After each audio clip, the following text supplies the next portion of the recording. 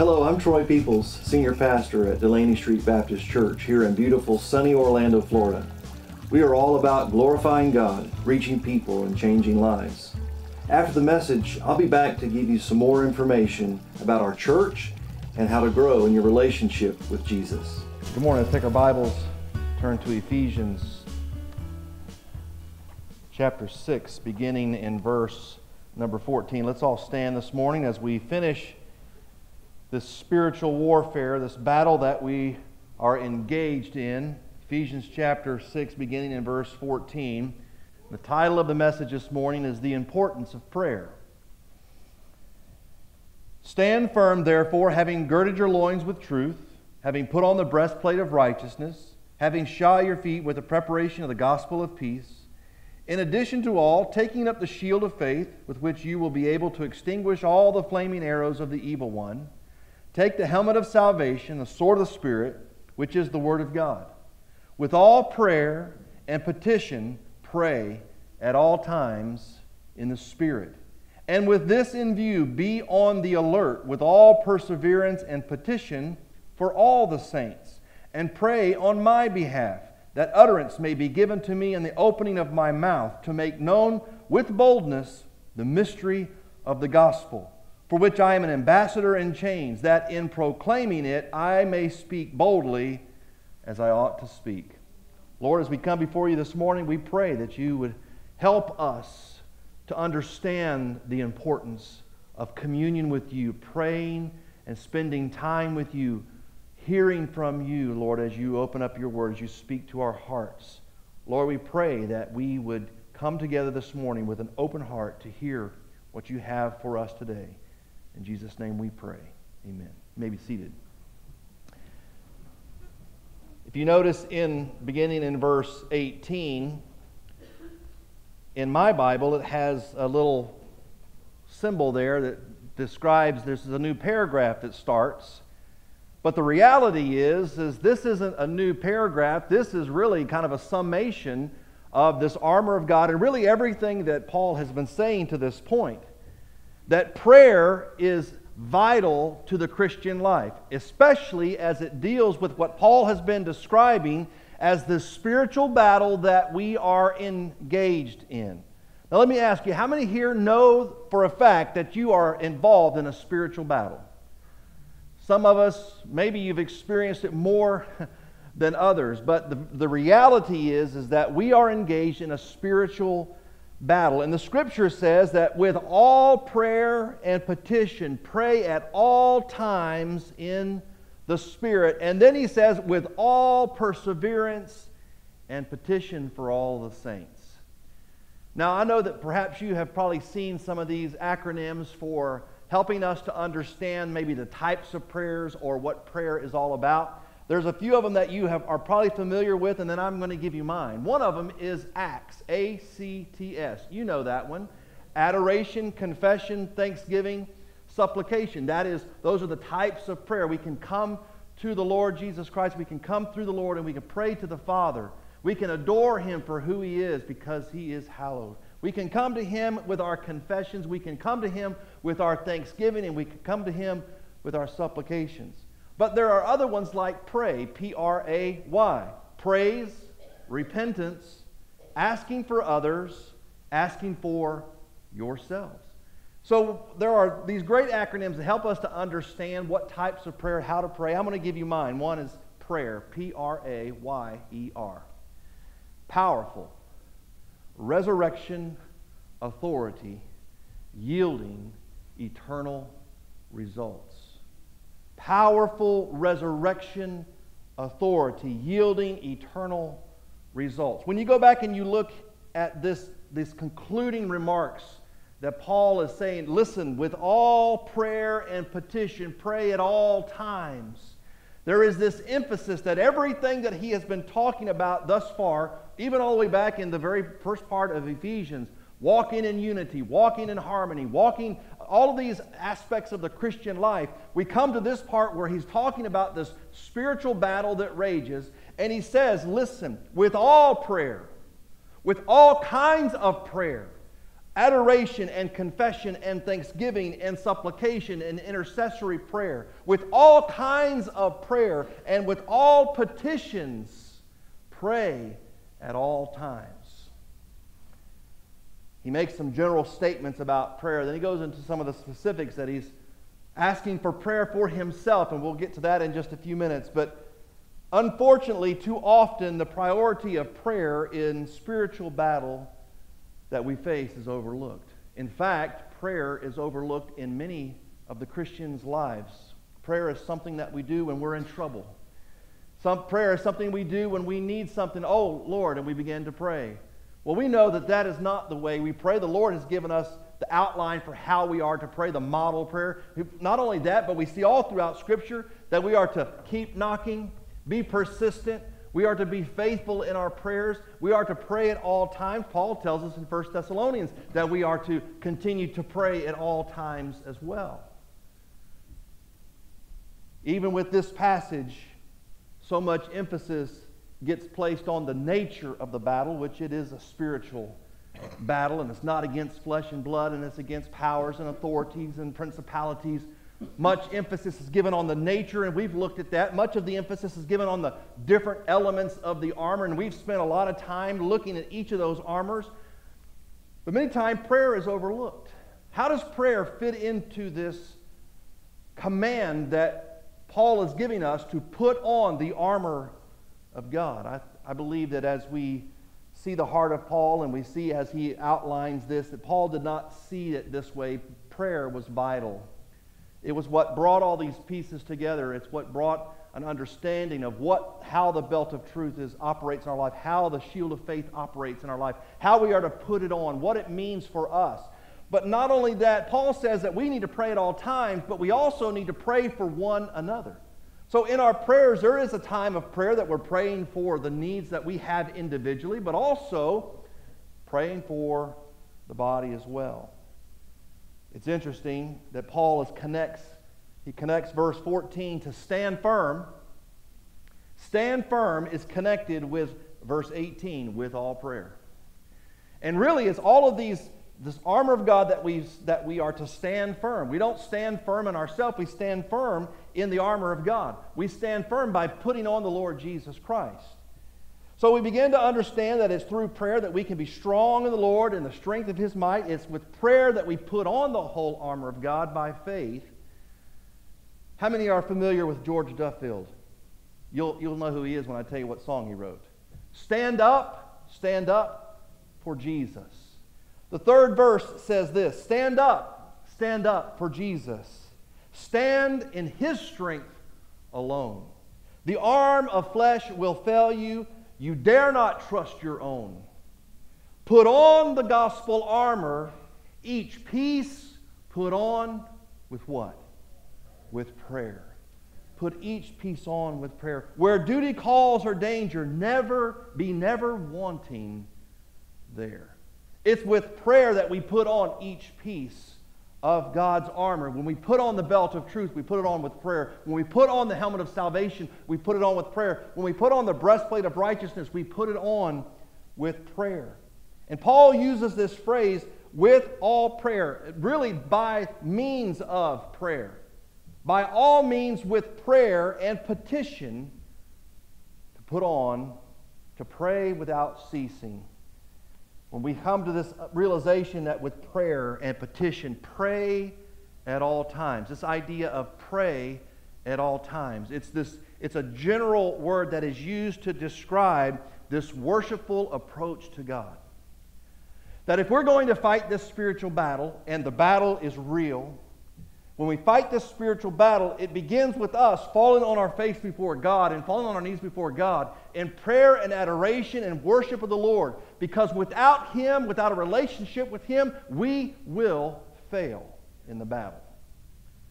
So he says, pray. It includes this reverence and this adoration. Prayer is an act of worship. It's not just something that we go through, it's not just a duty. Oh, I checked off, I prayed this week. No, it's an act of worship adoration and confession and thanksgiving and supplication, we can bring everything to God in prayer And I do bring everything. Probably more than I should. I bring everything to Him. We can come to Him with anything that is on our heart, that's on our mind, but we do not need to come with wrong attitude. We must come with a right attitude. That attitude is I'm coming into the very presence of God Almighty.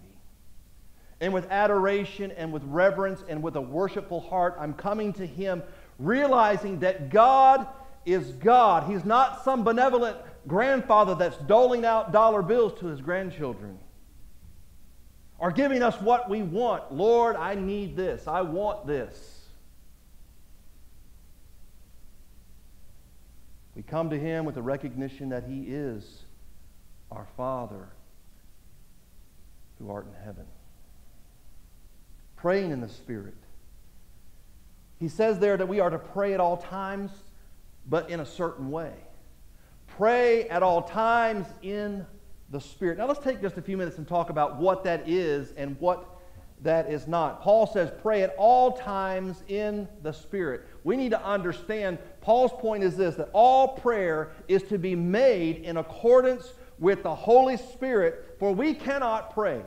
I cannot pray and I cannot know what is within the will of God unless the Spirit reveals that to me.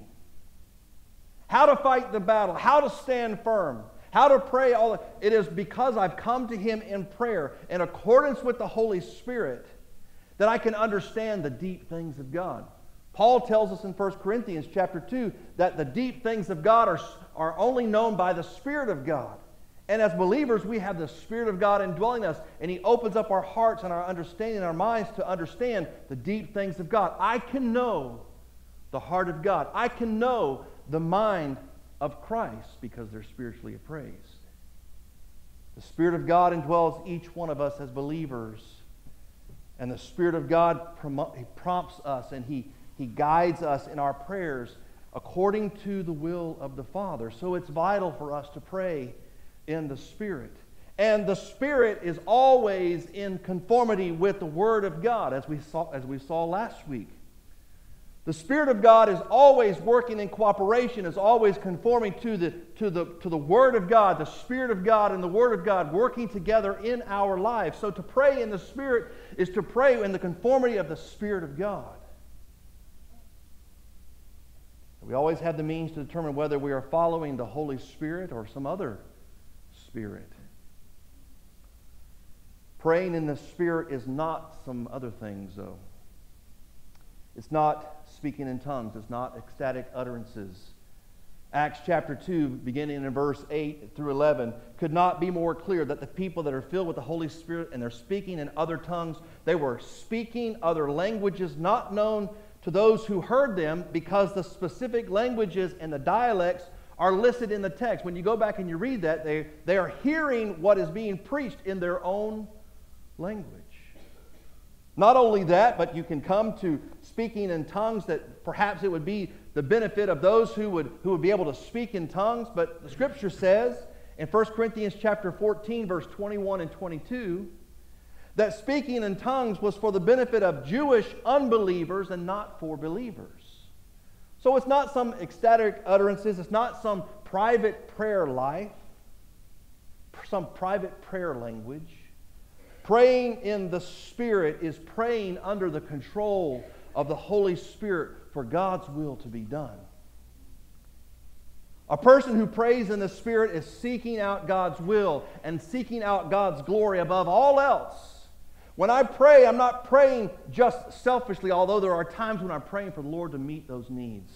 Praying for those who are lost in my family. Praying for those who don't know Christ. But I'm praying in faith and I'm praying in truth and I'm praying in confidence, not in myself or not even in my prayer. I'm praying in confidence to the Lord. Praying in the Spirit with great expectation that God is going to move, that God is working, but also praying in submission. Praying in the Spirit is praying in the truth, praying in faith, praying in submission to God. Let me give you some examples. You see it when Jesus is praying in the Garden of Gethsemane. He says, My Father, if this cannot pass away unless I drink it, Thy will be done. Jesus was praying in the Spirit, having communion with the Father in the Spirit, being obedient, submissive to the Lord, to the Father. It is Paul praying and striving to go to Bithynia and be sensitive to the leading of the Spirit to see that the Lord wanted him to go to Macedonia instead. In Acts chapter 16. Again, this sensitivity to the leadership of the Holy Spirit, this obedience and this submission to God. It's Paul praying three times to have the thorn removed from his flesh, but being satisfied with the answer from God that the Lord's grace was sufficient for him. Praying in the Spirit, it's God's Spirit that's bearing witness with our spirit as believers, and it's through His Word where we are seeking to know the will of God, to understand the will of God, and then to go out and do the will of God. Praying in the Spirit is walking in the Spirit. Praying in the Spirit is being filled or controlled by the Spirit of God. So then what does that, what does that mean then to pray in this? What does that look like? We need to understand that as I pray and as I offer up petitions to the Lord for my own life to serve Him faithfully, to walk in holiness, with putting my armor on, putting the Lord's armor on my life, but I also am not just praying for me, I'm praying for you because we understand he says there, so you are the church. He says, stand firm. And then he says, verse 18, with all prayer and petition, pray at all times in the Spirit, and with this in view, be on the alert with all perseverance and petition for who? For the saints. Now he says there, back in verse 12, for our struggle. Paul is writing to believers. Paul is writing to the church at Ephesus. And he's saying, there are times when I pray. He, he asked for them to pray for him. But he says, our struggle is not against flesh and blood. The struggle, the spiritual battle is ours to face together. So many times when we look at this putting on the armor of God, we, we look at it individually, and we are individually to put these things on. But there is a corporate aspect to putting on the armor of God. That as the church, we begin to understand that spiritual warfare praying begins with that understanding and idea that our battle is ours. The battle, the spiritual battle that we face, we're in this together. Spiritual warfare is both individual, but it's also corporate. Warfare is not you and me binding Satan or some other idea like that. It's simply coming to Him, taking up the armor of God, putting on the Lord Jesus Christ, resisting and standing firm in prayer, putting on the armor of God, and letting the Lord fight the battle. How are we to pray concerning the armor of God for ourselves and for each other? Well, we understand as we we saw in, in, in Stand Up, Stand Up for Jesus. Each piece put on with prayer. And there is an individual aspect to that, but there's also me praying that you might put on the belt of truth, that you might take up the shield of faith. And I want you to be praying for me that I might take up the breastplate of righteousness. See, we are in this together to bear one another's burdens, to love one another, to spur each other along. As we pray, we began to take each piece and we put it on with prayer. What does that look like? Well, let me give you some insight into that, and there's, it's not comprehensive, but just follow along. And, and, and as I began to look at these, think about yourself. I pray that as I am taking up the belt of truth, that I would be set apart by the truth of God's Word. That I would be transformed and renewed in my mind by the Word of God. My prayer is that I would be controlled and directed by God's word, the truth of God's word. I pray that as I take the belt of truth, I'm praying that Satan's lies would be exposed and that his slander against God and against God's church would be revealed. I'm praying that for myself, but I'm also praying that for you. As I take up the breastplate of righteousness, I pray that I would stand in the righteousness of Christ alone, not in my own righteousness. I'm praying that I would be convinced more and more and more that a living faith produces works of righteousness, James tells us. I'm praying that for myself, but I'm praying that for you. I pray that I would walk in unity and purity and harmony and victory as Paul has outlined in this letter.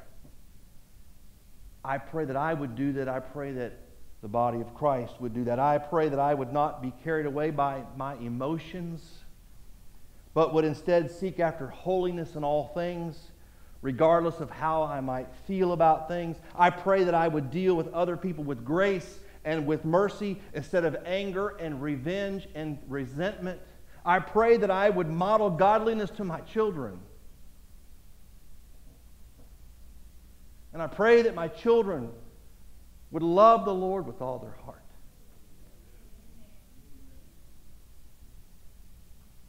And as I take up the breastplate of righteousness, I pray that I would live righteously before you and before the Lord and before the lost world, praying for honesty and integrity and moral uprightness. And I pray that I would keep the priorities of God that He has set for me rather than the ones I try to set up for myself. I pray as I take the gospel of peace, I pray that God's peace would control me regardless of my circumstances, that I would not let anxiety and worry and doubt and fear enter into my thoughts. Because the spiritual battle begins in the mind.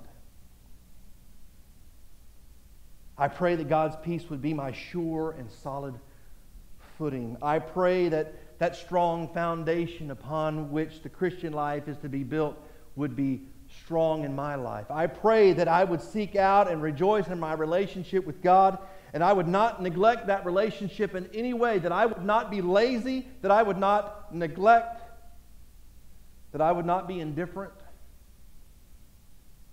that I would not be apathetic take the gospel of peace and put it on with prayer. Pray as I take up the shield of faith that my faith would grow stronger as I see my faith tested and as I see my faith proven to be true in the face of persecution, in the face of despair, in the face of discouragement. And I will say, like David says, Lord, I trust you. That the flames of each of the devil's fiery darts would be extinguished by my trust in God, thoroughly grounded in his character and his promises. As I take up the shield of faith, I pray that I, in faith, would pursue godliness and obedience and things unseen, his kingdom and his righteousness. I'm praying these things for me, but I'm praying them for you. That I would take up the shield and stand shoulder to shoulder with my brothers and sisters in Christ, knowing that the very gates of hell will not overpower us. Because we have taken up this shield of faith and we stand shoulder to shoulder as the church.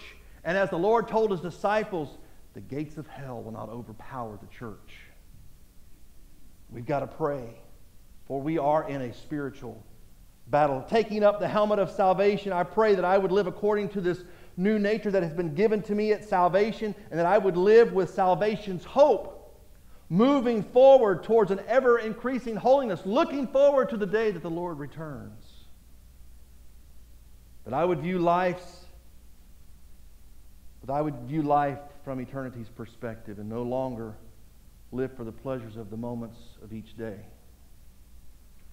that my mind would not be distracted or divided or discouraged or defeated or deceived in any way. I pray that doubt would be removed as I take the helmet of salvation. I pray that my mind would be renewed and every thought would be taken captive to Christ. Take each piece and put it on with prayer. As I take up the sword of the Spirit, I pray that I would handle it accurately, both in its defensive use and also in its offensive use. Defensively, that I would become mature and firm in understanding and in my convictions based solely and solidly on the Scriptures and the Scriptures alone. And that I would be skilled to handle and to apply the Word of God appropriately to each of Satan's enticements and slanders. I pray that I would remain strong against both the winds of doctrine that would seek to blow me off course my own desires that would move me to seek my own will instead of the Lord's. Offensively, I take the sword of the Spirit and I pray that I would know the Bible well enough to proclaim Jesus and his gospel accurately. That I would be able to bring down the fortresses of philosophy and speculations of the unbelieving and bring them to captive to the obedience of Christ, bringing down strongholds This is what I pray. But the scripture says not only do we pray for ourselves, but we pray for one another. And I want you to think about what Paul is asking here. It's kind of ironic.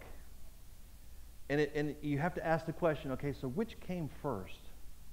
Because Paul says in verse 19, and pray on my behalf. He tells the Ephesian believers, pray on my behalf. This is the Apostle Paul saying, pray for me. And he says this that utterance may be given to me and the opening of my mouth to make known with boldness the mysteries of the gospel. The Apostle Paul is praying for boldness. Now, which came first, Paul's boldness or the prayers that led up to Paul's boldness? Well, I think it's a little bit of both because this, is the, this is the Paul who began to proclaim Jesus in the synagogue of Damascus only a few days after he got saved. He went straight to the synagogue and began to proclaim the Lord Jesus Christ. That's pretty bold. He had just been spending his whole life persecuting the church, and now he's going to go boldly into the synagogue and he's going to proclaim the Lord Jesus Christ. It's the same Paul who went out on missionary journey after missionary journey after missionary journey and it's there that he proclaimed the gospel everywhere he went. He stood in Athens at the Areopagus and he began to proclaim that Jesus is the, the, the unknown God that the philosophers had a, had a monument built to. This is the same Paul who is praying for boldness. We've got to pray for the saints because we're in a spiritual battle. We pray diligently and with perseverance. We pray for one another. How can I pray for those in my church? I've given you just, this is not a comprehensive list, just things to be thinking about. I, I pray, how can I pray? How can you pray for the person that's sitting next to you or in front of you or behind you? You can pray for them to be bold in their faith. Pray that all fear and all everything that would keep people from being bold in their faith, that they would, that uh, they would be able to stand in the face of persecution or despair or, or ridicule or whatever it is that they might face. Pray that that would be removed and that they would have courage to share the gospel. Pray for boldness in faith. Two, you can be praying for them to be faithful in their service. Now, you better be praying that for yourself first. But you need to be praying that for others as well to be faithful, to use the spiritual gift that God has given you, the natural abilities that God has given you for His glory and for the edification or the building up of His church. Model the life of Christ in service. Be praying to, they would have a, a righteous, uh, that they would be righteous in their actions. Micah chapter 6, verse 8 tells us these are the things that the God, this is the thing that God requires to do justice to love kindness, and to walk humbly with God. That's how I can pray for you. That's how you can pray for me that I would walk, that I would love kindness, that I would walk humbly with God. Not only that, but we can pray for that humbleness in character, to remove that pride, that self reliance, to remove any jealousy or any, anything that might be in our life that would keep us from serving with a humble heart. And we need to pray as Paul told the church at Philippi, that we need to seek after those things, whatever is true, whatever is honorable, whatever is right and pure and lovely and of good repute. These are the things that you are to dwell on. Pray that others would be submissive to God's will. James 4 7 Submit therefore to God, resist the devil, and he will flee from you. Draw near to God, and he will draw near to you. There are so many ways that we can pray for our brothers and sisters in Christ. We need to be praying for families. We need to be praying for marriages. We need to be praying that they would raise up godly families, that they would teach their children to love the Lord with all their heart, with all their soul, and with all of their mind, and to undergird that in prayer. And then finally, this. My prayer for you and my, my hope and my prayer is that you would pray for those sitting around you that those sitting around you would stand up and be strong ambassadors for Christ, to boldly share the gospel in this world, because that's what we've called to do to go out and to seek and to reconcile the lost, to be salt and light in this community. We need to pray that they would stand up. We need to pray that we would wake up, because Paul tells us it is already the hour for us to awaken from sleep. For now salvation is nearer than when we believed. The Lord's return is imminent. Pray for those around you that they would get up and put on the Lord Jesus Christ and make no provision for the flesh in regard to its lust. Pray for those around you that they would stand up, that they would wake up, that they would get up, that they would speak up. For faith comes by hearing, and hearing by the word of Christ. That's how we can pray for all of the saints. You just bow your head right where you are. This morning, the invitation is simple pray. The altar is open. You can come and pray at the altar. We're not going to sing an invitation, but we are going to play. This time is a time for us to pray for one another. You can pray right where you are, but I encourage you to come and pray Maybe go and take somebody and bring them to the altar and pray with them because you know that they're struggling with something. You know that they're, they're dealing with something in particular. Just come to the altar and pray. Pray for one another. Pray at all times. Lord, we love you and we thank you for this privilege that we have to have this fellowship with you through prayer. Lord, I pray this morning as we've come together as your body here in this place that we truly understand the significance and the importance of prayer. Lord, as we conclude this service this morning, the call to respond is to simply come and pray. To pray for my family, to pray for this church family, to pray for my church, to pray for the ministries of this church, to pray for the spiritual battles that families are raging in. Lord, I pray that we would come and that we would pray and that we would pour out our hearts to you because we can't do anything. We cannot do anything as a church apart from prayer.